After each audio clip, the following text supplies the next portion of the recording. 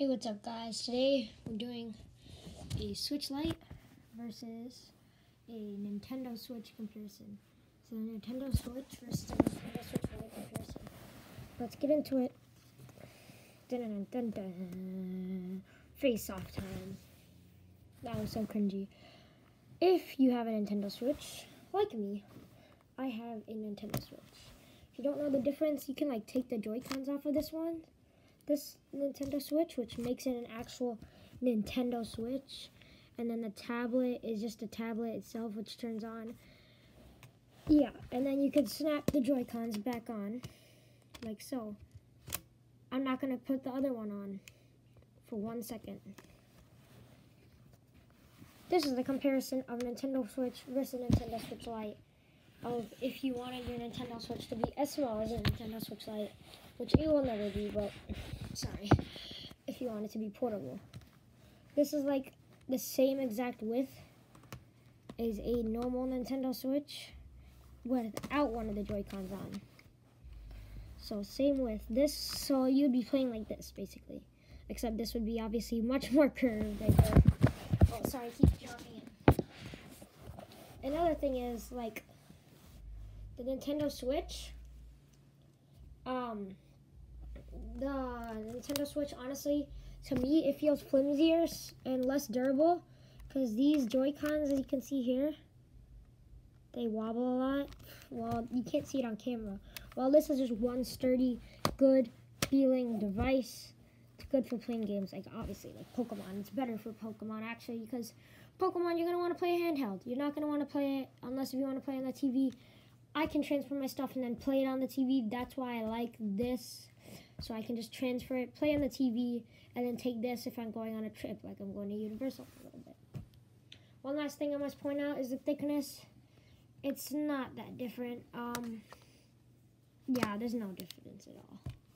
Also, Nintendo Switch Lite, which I thought is kind of cool, has a SD card slot, but it actually opens. These are the speakers for Nintendo Switch Lite. One here, one here. USB Type-C, basically USB Type-C full capability just like the normal Nintendo Switch except it doesn't have the docking capability and maybe some others. I don't know what it cut out, but yeah. These buttons feel better on Nintendo Switch. These feel better better on Nintendo Switch Lite. And yeah, and one thing I gotta say finally is Nintendo Switch is bad. This is why I love the Nintendo Switch Lite, just attached Joy-Cons, because this is why. Yep, I just hit it from the bottom and it came out.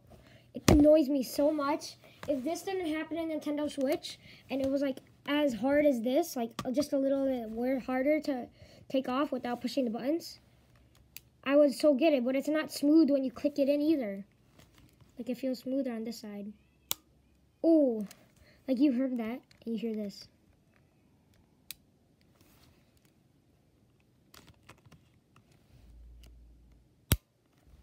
That's much different. So overall, the Nintendo Switch, even though it does feel really good in the hands, honestly, gotta say, it does feel good in the hands, and it's a good console for when you're gaming. I would say that the Nintendo Switch Lite is the best way to go if you are fine with it not docking, you are fine with it not switching like a normal Switch and you're with fine with it. Just overall, it's on capable features and capabilities.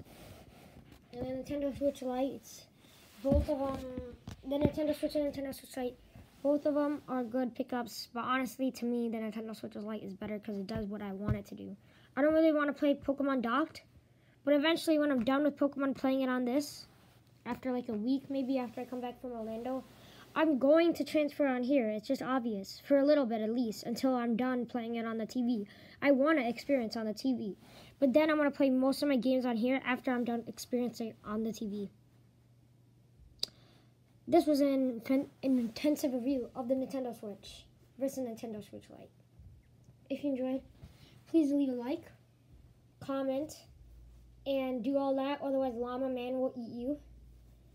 And, um until then, I'll see you guys in two days. What's happening in two days? I'll tell you tomorrow, or maybe on Friday. It might be a Pokemon game that's announced and coming out, and everyone's gonna be playing it because three of my friends pre-ordered it. And yeah, four actually. See you guys later.